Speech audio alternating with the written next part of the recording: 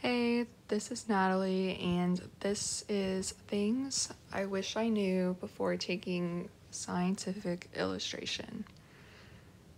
For me, this was such a good class, and um, there were just a few things I wish I would have known ahead of time, just so um, things that maybe could have gone a little bit smoother and um, maybe even had a better experience than I did, which was really good. So, the main one was watching the videos that Dr. Beckmann uploaded to the YouTube page.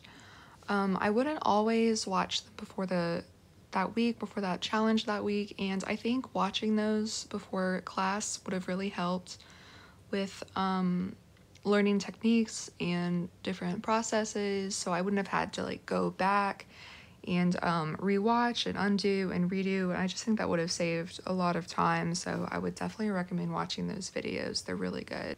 Another thing I wish I did was if I knew the prompt was to plan ahead. And um, this was really a good thing. Like if I had already picked out my source images and had an idea of where I was going, it was so much easier to um, get to class and just go and start drawing, start sketching things out. It was just a lot easier than having to figure out what I was going to do. So, the last thing I wish I knew was to um, not merge all of the layers together and then pay attention to what layer that you're on when you're drawing on it. I can't even tell you how many times I had either merged something together that would have been so much easier to edit when it was separate or um, drawn something on the wrong layer and had to either go back and delete all of that and like get on the correct layer or have to delete the entire layer because it wasn't really fixable.